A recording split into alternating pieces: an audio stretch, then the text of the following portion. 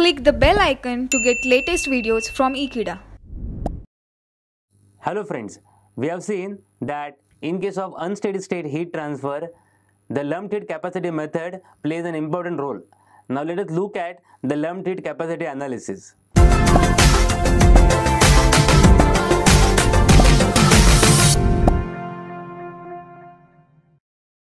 In the lumped heat capacity analysis,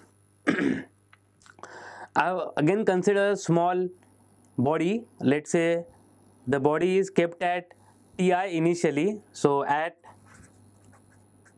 T equal to 0, when time was 0, the temperature of the body was Ti. Now this body is kept under a surrounding where the surrounding temperature is having T infinity and the heat transfer coefficient of the surrounding is let's say H.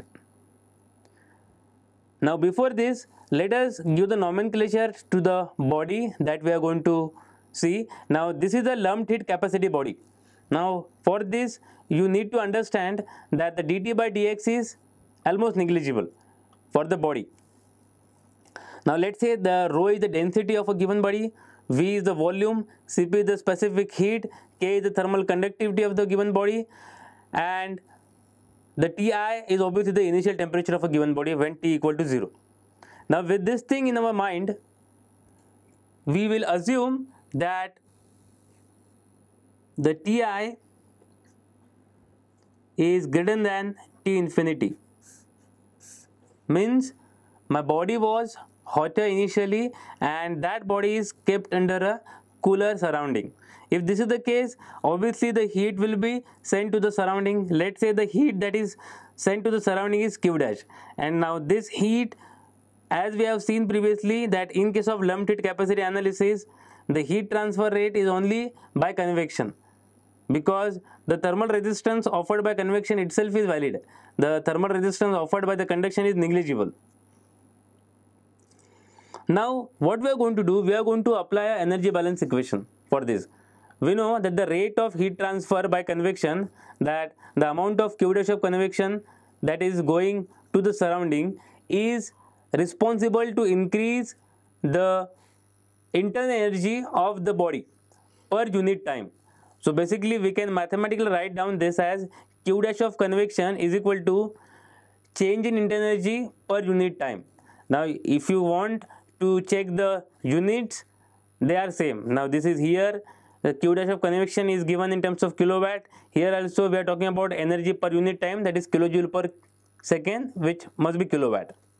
The negative sign which presents over here is responsible as the delta e that is the internal energy is always decreasing with increase in the time. As the time increases as the time passes the value of delta E will keep on decreasing only. Now this delta E as we have seen in the thermodynamics is given as mCp delta T. Now here I have assumed that the, my process is a constant pressure. Now not necessary that the process should be constant pressure. It can be a constant volume process. So you can simply write this as mc itself. But for the simplicity and for the uh, better understanding I have written this as mCp delta T where my mass can be expressed as density into volume. Now if I write down all the other parameter, we know that the Q convection is given as by Newton's law of cooling as HA delta T where delta T is T minus T infinity where T is the instantaneous temperature. So now T indicates the temperature at time T.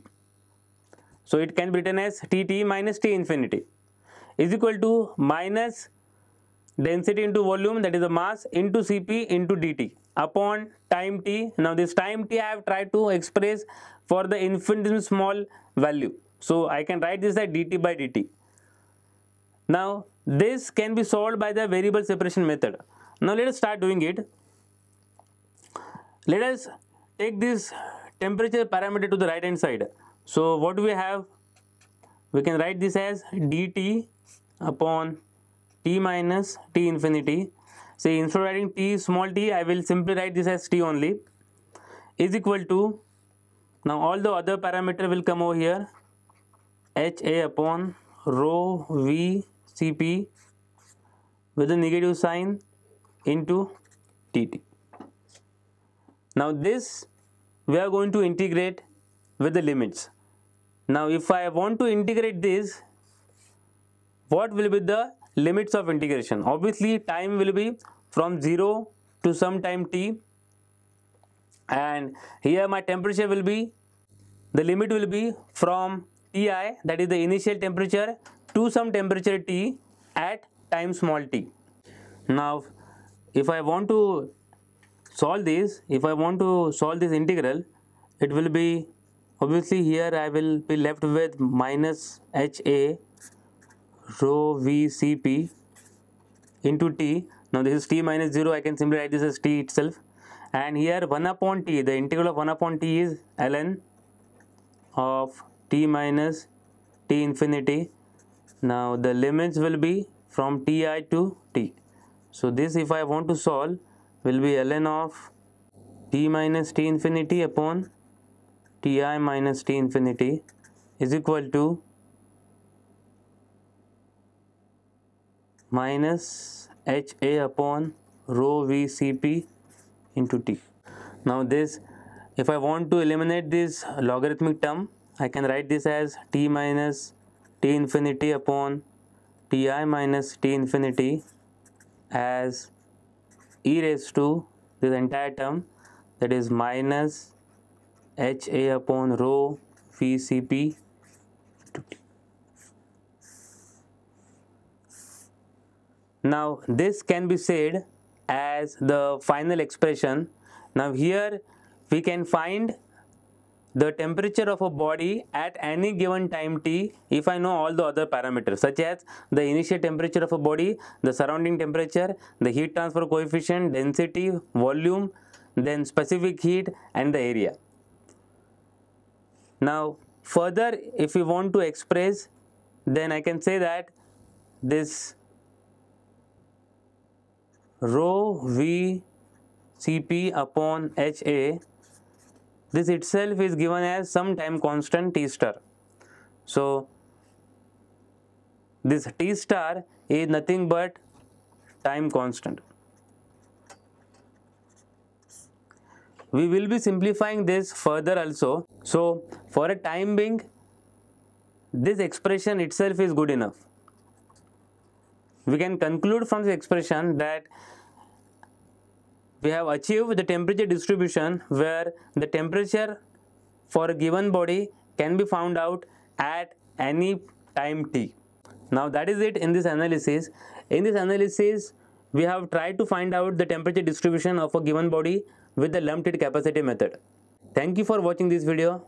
Please stay tuned with Ekeeda and subscribe to Ekeeda. Thank you.